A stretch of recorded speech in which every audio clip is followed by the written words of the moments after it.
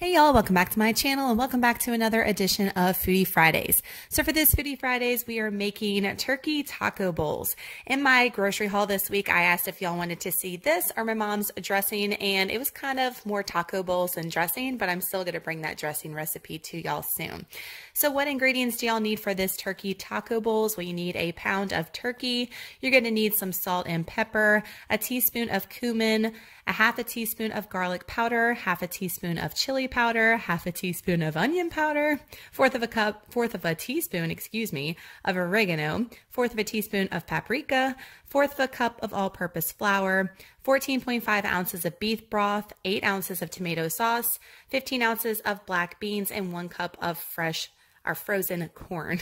a lot of ingredients, guys, but they're simple ingredients and a lot of things that you probably already have on hand. And you're essentially making your own taco seasoning here. So if you want to skip that step and just use a packaged taco seasoning, I'm sure that would be just fine. Just note that you're going to have a little bit more sodium content with that. Let's get into how to make this yummy turkey taco bowl recipe. We really enjoyed it and I can't wait to share.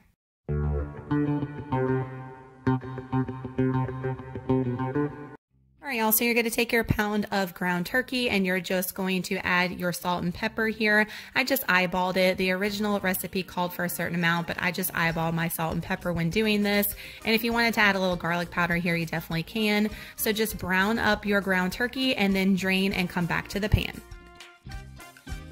going in with our dry ingredients here. You're going to need a half a teaspoon of garlic powder. With the cumin, that's going to be one teaspoon. I'm actually just using a half here because I totally spaced on the measurements and I even left an ingredient out. It still tasted delicious, so don't even worry about it. Everything will be in the description box down below. Half a teaspoon of chili powder here.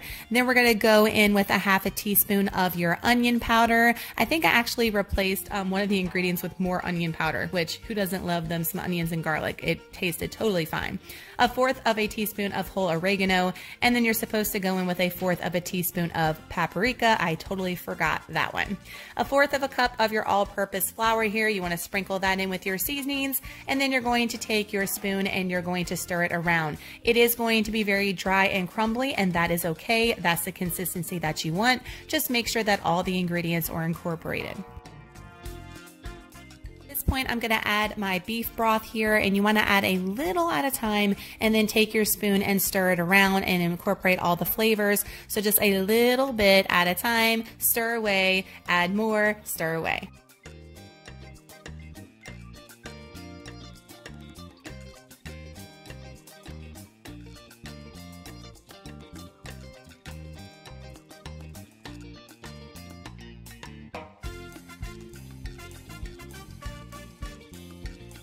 Then want to add in your tomato sauce and you're adding eight ounces of that. You want to stir that together and then you want to bring it to a boil. So at this point, we're stirring all this stuff together and waiting for it to come to a boil. And then we're going to be adding, once it comes to a boil, as you see here, our corn and you need one cup of frozen corn, and then 15 ounces of your rinsed black beans. Make sure to rinse your black beans before adding them here. Stir away, and then we want to let simmer for 15 to 20 minutes until it is thickened up a little bit.